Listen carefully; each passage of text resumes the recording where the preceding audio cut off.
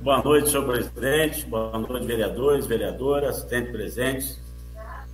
Senhor presidente, eu recebi hoje né, a resposta da secretária de Saúde, uma solicitação que eu fiz via ofício.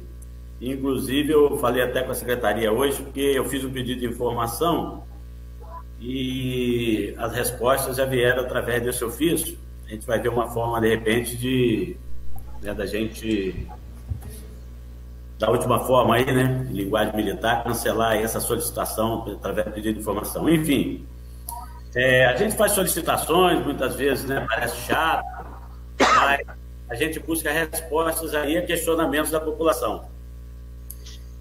É, e também a fim de passar tranquilidade para a população. Quanto à a, a, UTI Covid lá do hospital, é, teve a empresa que foi contratada né, para a prestação de serviço e também a parte estrutural.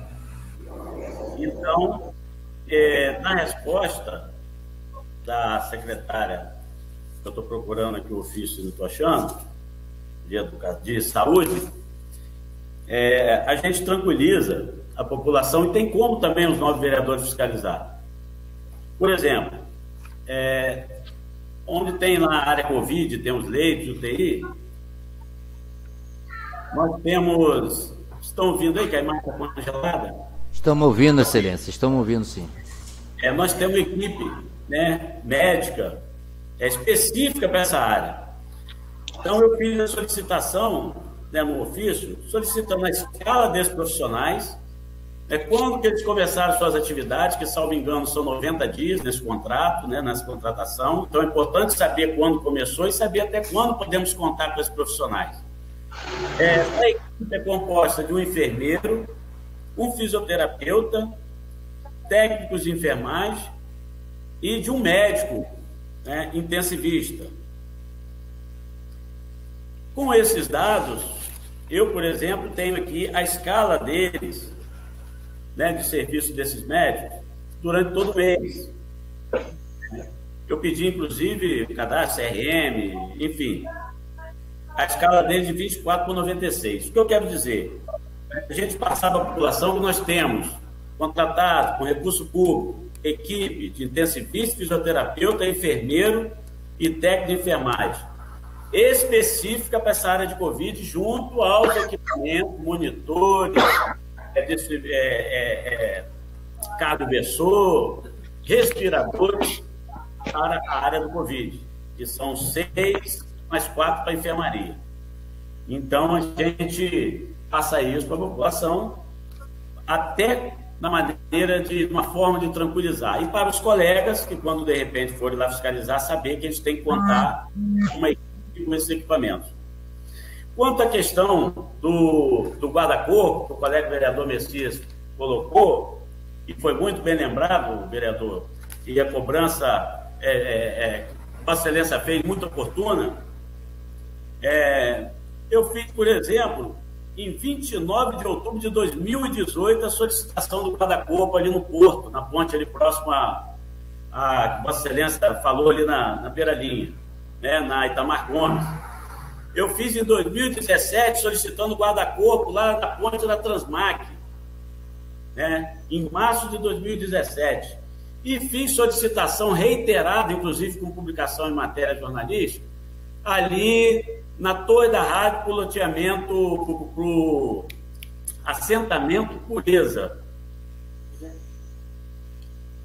Então, quer dizer, são solicitações é, antigas que a gente já fez e a gente continua batendo. Quanto ao recapeamento né, asfáltico, é, eu tenho aqui solicitação, as últimas, dezembro de 2019, ofício 25 de 11 de fevereiro de 2020, mais ofício 35, 28 de fevereiro de 2020, nas ruas, né, uma delas a rua Rosendo Fonte Tavares. Eu pude observar também, é, e parabenizo a colega que apresentou a indicação, eu ia falar no assunto da PAI, também vou falar a respeito disso. É, falando a respeito da PAI, é uma luta nossa pelas pessoas com necessidades especiais. É, não só na Você PAI, me dá parte, o vereador? e também as pessoas né, que não fazem, que não têm um acompanhamento por essas instituições. Você deu mais dois minutos, Vossa Excelência, vereador. Agradeço. Então a gente ficou feliz, teve uma emenda que eu anunciei, que a gente conseguiu para de 100 mil reais. Eu quero dizer que a gente batalhou muito, que não foi só em Brasília conseguir, a gente teve que auxiliar, inclusive, lá na PAI, entendeu? Com suporte, a gente agradece também ao gestor de convênio da prefeitura, teve a participação, um gestor de convênio de outro município que a gente acionou para auxiliar, e a licitação já foi feita por pregão eletrônico, por sistema, e todos os equipamentos, insumos que a PAI necessitava e que poderiam ser adquiridos com essa emenda que a gente conseguiu, já foram comprados e estamos aguardando apenas a entrega desses insumos, desses equipamentos. Então a gente fica feliz com a instituição que presta um excelente serviço à Conceição de Macabu.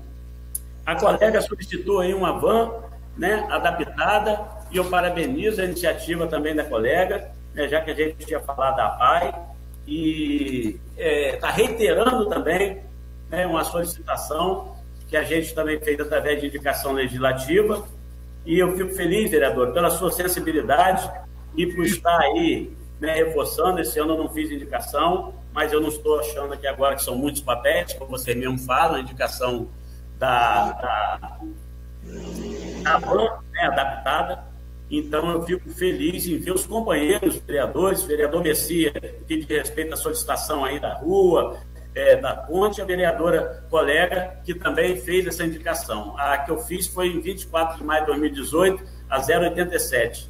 Né? E a gente aguarda, né? já estamos em 2020, né? e quem sabe agora, vereadora, a gente com essa indicação de Vossa Excelência, que eu também fiz em 11 de março de 2019, a gente cons consiga atender né, as pessoas com necessidades especiais com essa van adaptada que realmente é, é sonho da gente para poder atender essas pessoas tão especiais. Senhor presidente, eu não tenho mais é, minha pauta hoje está encerrada. Eu tinha outro assunto da educação, mas não vou me estender, até porque meu tempo já está encerrado. Agradeço aos colegas e a todos por essa oportunidade. Obrigado, presidente.